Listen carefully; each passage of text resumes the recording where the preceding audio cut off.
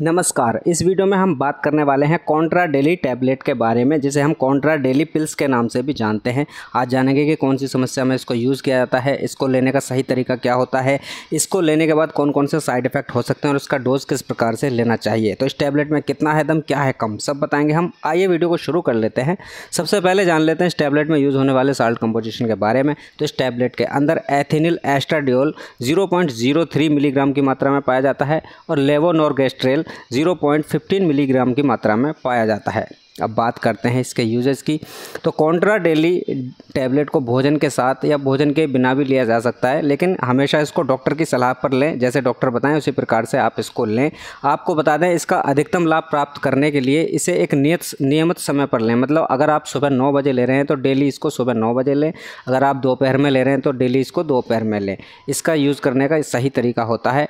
ये गोली गर्भ निरोधक होती है और ये कॉन्ट्रा डेली टैबलेट जो है, एक गर्भ निरोधक दवा है जो आपको बहुत से तरीक़ों से गर्भवती होने से रोकती है। सबसे पहले ये आपके अंडाशय से एक अंडे को निकलने से रोकती है।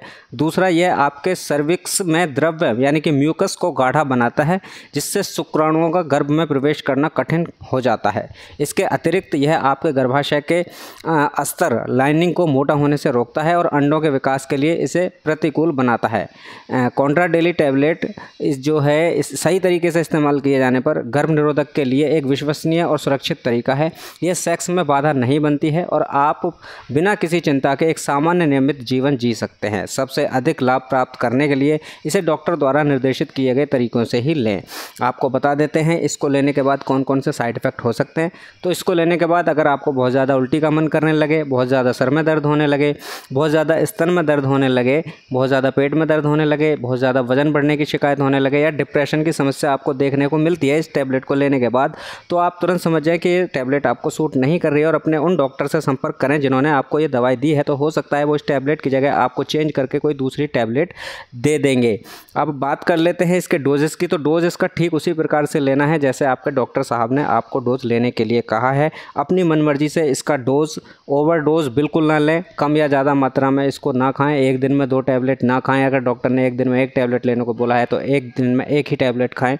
और जो सही तरीका डॉक्टर ने आपको लेने को कहा है इस टैबलेट के लिए उसी तरीके से आपको यूज़ करना है और कोई भी इसको बिना डॉक्टर की सलाह के परचेज़ करके इस्तेमाल ना करें। आपको बता दें, इस दवाई की जानकारी हमारे द्वारा दी गई। आपको थोड़ी सी भी अच्छी लगी हो तो वीडियो को शेयर करें, लाइक करें और कमेंट करके हमें ज़रूर बताएँ।